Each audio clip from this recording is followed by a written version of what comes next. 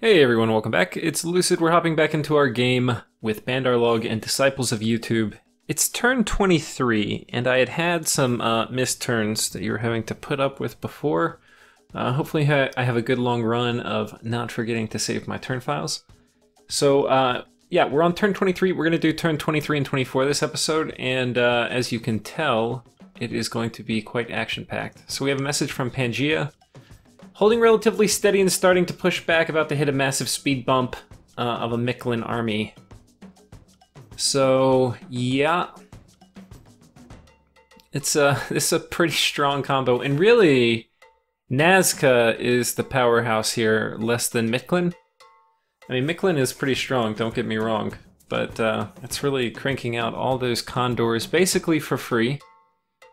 Uh, combined with tons of cap only production, and then that will be transitioning into Sapayas later. So that is very, very scary. Um, okay, so they took took one PD back, or Marignon did. Nazca raided him, took another province. Um, we just show this real quick took this from Mictlan, and uh, yeah. He had put a little bit of PD in here, so he's got some cataphracts, which are pretty good. So we end up taking a few losses. Uh, or just on Marcata, not bad. Um, so, yeah, we took this too. I forget what he had here. I think these guys were just trapped yeah, these guys were trapped after that failed raid, I think. But no, he's got a priest here. I don't know what he was going to do. It seems he probably could have evacuated them, but maybe he decided not to. Um. Okay, Nazca. Uh, this is what they used to come in and clean out the army I had sitting on my fort or their fort, but I had moved that army off their fort instead of storming it because I was worried I would get attacked by more than I could handle. Now this I could have handled, so I'm kind of wishing I had stayed on. But I know he has like a hundred condors and his uh, cap, which he could have brought. I don't know why he didn't. Um, so that's a little unfortunate. I probably could have taken this, but um, yeah, not sure. Uh, which that was this one, yeah. So Marignon raids back a little land. Um, we take this was actually kind of a little bit of a coin toss whether I'd take this because it's basically the same troops attacking each other, except they probably have a little bit more. Oh well, a lot of theirs is this shittier uh, Triton guard rather than the much better Triton trooper, and I have Triton troopers, so. Uh, you can see it's pretty close. But in the end, we barely prevail, which is nice because that is going to give us that whole lake system now. Uh, and then this is going to be good. So let's watch. So we... Uh, Nazca could move two places. They could have moved on top of my fort with this uh, army, or they could have moved... Um, or they could have moved to a plain province nearby, and I tried to defend both of them. And if you look, I've got these guys scripted to like throw shit in the front. I've got my Tiger Riders here on the side where hopefully they don't get attacked. My white one's in the middle. And the idea is by the time they jump in, I'm gonna have cast Swarm a few times from this guy. Uh, hopefully he doesn't get killed. I've got other guys spamming out luck and things like this, so these guys are a little exposed, though. And his guys kind of drop in, and they just get walloped on.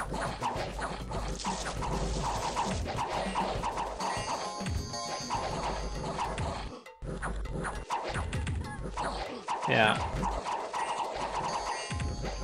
And you can see actually the projectiles are doing a lot of damage here.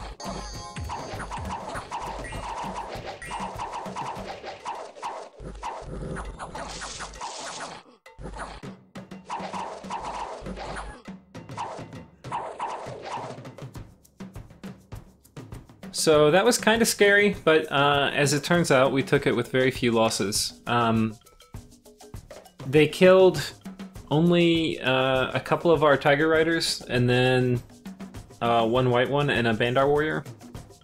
And they killed a lot of our PD. Um, but we pretty efficiently dispatched all these Eagle Warriors here. so that's kind of good news. Um, so now hopefully we can retake some of this. Unfortunately, though, if we look over here, Nazca, I mean, Mictlan has a pretty extensive fort system. He's got um, one here, one here. I think there's one over here, too. Maybe he's... No, there's not one here. So he's cranking out a lot of these. I don't know how many turns of Eagle Warrior production that was, but you can't complain. Um, think they're that expensive, though. Yeah, they're only 15 gold, so they're actually really cheap. Yeah. So nothing to get too excited over, but uh, it was a pretty solid win.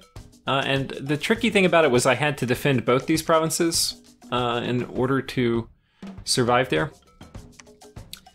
Um, and yeah, this was us retaking. So uh, basically, the name of the game. I'm going to try to retake a lot of this stuff. I've got this army. I, for some reason, my move orders aren't loaded in. But I'm going to take uh, what we can carry here. We're going to go attack this. We're going to take what we can carry here, and we're going to go attack this. Or maybe this. I think we attack this, and then we're going to probably converge here turn after. Um, up here, we have moved our guys off of this fort, and you can see there's a ton of condors here, uh, which were what was kind of scary. If he brought all those, I would have lost, but if he didn't, I would have killed these guys. So I kind of would have liked to have killed it, but yeah, I didn't. Um, so now the question is, what are we going to do? We're going to pull these guys back. I have, unfortunately, barbarians are about to attack this province. Um, I kind of want to keep these guys here, uh, but I'm also worried. This is the problem fighting flying guys, uh, is right now Nazca has only been raiding. I haven't really seen him consolidate very much. But he could, for example, with map move 2, uh, flying over my shit, he could move all of his condors here and all his guys here. And if I moved all my stuff here, it would be pretty bloody. Uh, I don't know if I would win. But anyway, the the only thing that's kind of okay about doing trades with Nazca is like if we wipe each other's armies out or have really high attrition fights, is they're in a 2v4 war, so probably disproportionately hurts them. They can't really afford to lose all that, but yeah, it hurts me too. uh, and we want to be set up to gain some of the territory if uh, indeed we do end up beating the Nazca Mictlan combo with four players. Um, yeah, so these guys are kind of spent. We're going to be retaking, or we're going to be moving these guys out. Uh, he's probably worried I could fly on top of his fort too, so it's a little unlikely he comes out here, and he probably wouldn't be super excited about having me on top of his throne. Um, yeah. So, I think that's basically it for this turn, we're basically just going to be retaking some of the raided lands. Um, this We're going to start building a palisade here. Um, just because I need another one up and it would be nice to protect the throne. Um, yeah, I think that's about it. So let's go ahead and pull up the next turn, turn 24. Sorry I didn't have my move orders in there. I tried to kind of put them in, but um, okay, we found a magic site, Starlit Pond. That's nice. We found two magic sites here with our Pretender, uh, which so that's good. So we have a death income now. Actually, a pretty good death income because we found these pyramids of life up here earlier, which actually are going to give us uh, death. So we have five death. We actually need to think about what we're going to do with that. There's a lot of good stuff in debt with death and conjuration, which we want to go anyway because we've got a bunch of our good stuff in here. Um, so that's definitely an option. Uh, I wonder what it, there might be some particularly good things in death, like we get Vetalas, uh, and I think yeah, these are ethereal and these are ethereal. That these are kind of chaffy. Okay, these are very chaffy. Um, Vetalas are kind of better. They have two forms. These guys only have one, but you get more. Actually, these are super value. I think we need to, and this I'm a couple turns ahead of this in real time. Um, at, at least at the time of recording. I think I need to get my Pretender back and start just pumping out these Ethereal Chaff. I think it's kind of been a mistake to wait this long, but I needed the site search too. So I think he's going to come up here. We're going to site search this. And then we're going to just start cranking out this Ethereal Chaff. Um, and I'm not sure which one. We'll probably... We can already get Ganas. Do I? How much do I want to go up here? I want to go up here pretty bad. Yeah, I do. The thing is, there's so much good stuff for me, and Will of Fates is game-winning. Mass Protection and Wooden Warriors is pretty good. Swarm was good. Uh,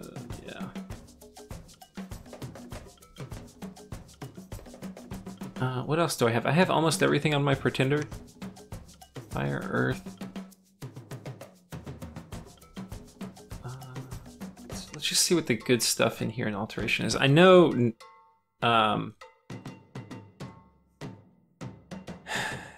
darkness isn't gonna help unless I have swarms of that undead chaff, which I could. Um, battle fortune. That's gonna be really good. Normally it's not something you would get, but that would be pretty good. Um, T cost is a little high. And yeah, that's not so great. I'm already going to be alt 5. Fog Warriors would be huge. And I can cast that with my Pretender. Hmm. I mean, that would be game-breakingly good. Shit. I really want Alt 7. I may... I, I think I, I think I probably should detour. I don't know. I might just bomb hard for Alt 7. It's so good. Mass protection will be so big. Uh, and then I'll also have Fog Warriors. And with that, I can take an army and like roll up on top of Nazca's cap. But uh, anyway, so we'll probably stick with what we got for Conjuration and make Ganas instead of Vetalas. But I might change my mind. Um, the other problem was we got attacked by Barbs, but I was really worried about him moving everyone here. Uh, so I moved my stuff here.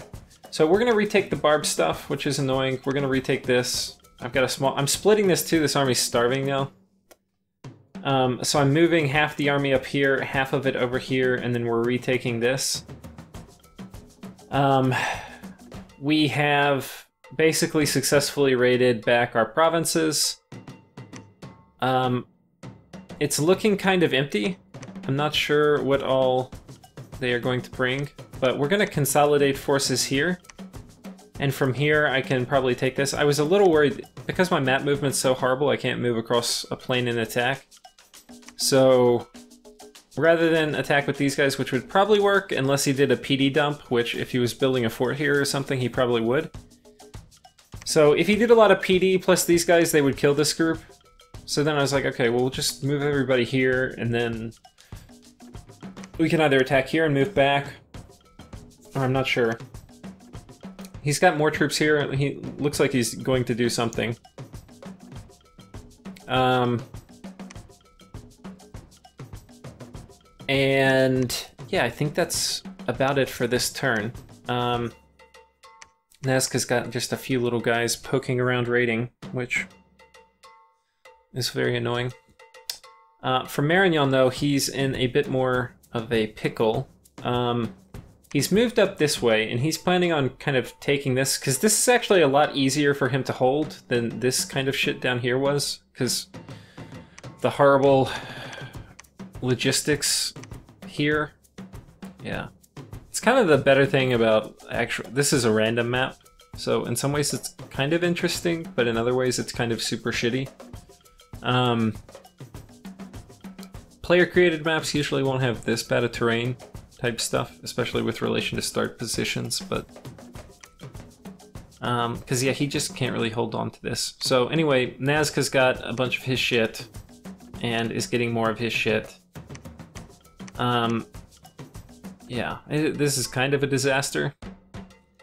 Um, he can basically. So we've been he'd been rushing conjuration, uh, and you can see his channel to hear him talk more about it. But we were thinking, okay, fire. They have fire resistance, but fire elementals, like the big kind, the size six ones, which you get with conjuration five, they can hit hard through fire resistance pretty well, uh, and then they'll do 10 AOE damage. Uh, and that's not a little. That's kind of a lot. Um, and then they'll absorb a lot of hits. Both of things, both of those are things we need. Uh, but then we did some testing and we realized like, hey, the fire elemental thing really isn't working. We can't make enough of them, and they tend to get stunned actually by the thunder weapons, and then not do any attacking. So uh, they weren't really helping that much, and you're really just wasting mage turns. Uh, instead, we figured out we can do Blade Wind spam with his Alchemist Guild here. So um, yeah, the the real problem is we don't know where any of these armies are going. Like they can each go anywhere, and yeah, you need very efficient ways to defend provinces. Uh, Pangaea and Satis are able to do it with assassins because they move this squad in and they get ripped apart by assassins. But um, yeah. So we're gonna take this and yeah, we're gonna take this. And I think, I think that's about it for this turn. So uh, tune in next time. Uh, the game is heating up, and um, the way it works against these air nations is they usually are able to raid and raid and raid, and it's only when you're able to kill kind of a critical mass of their guys that you ever get them on their heels. And right there, they're right now they're definitely not at that phase. Um, so we need to win a couple big battles against them. Like I, this battle against Mictlan was helpful, um, but we nobody's really won a good battle against uh, Marignon yet. I mean against uh, Nazca yet. I can check. I think. Yeah, like he just killed a shit ton of PD here. Oh, this was that province he had done a PD dump in before. Okay, we knew we were going to lose that. Yeah.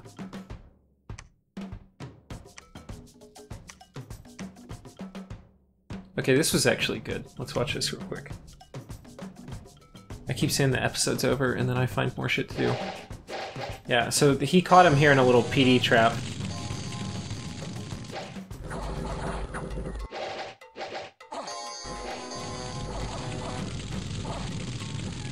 Yeah, here are the fire elementals we were talking about.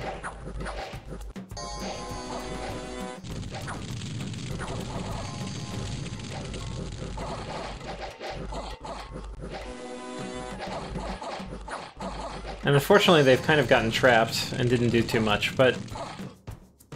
Uh, yeah. So anyway, but all in all, that was, like, we need more battles like this. We lost a few things, like a Witch Hunter and a Paladin, and um, some stuff, but uh, we need to be trading with them rather than just having them free raid our provinces. So uh, we need more like that. Though, uh, that was probably maybe one turn of sacred production for Nazca, but um, if four people, like if Satis, Pangaea, myself, and Marignon are all trading, then we'll be okay. But if we're not, then they're just going to outrate us. So anyway. Um, thank you guys for watching, and uh, we'll see you next time.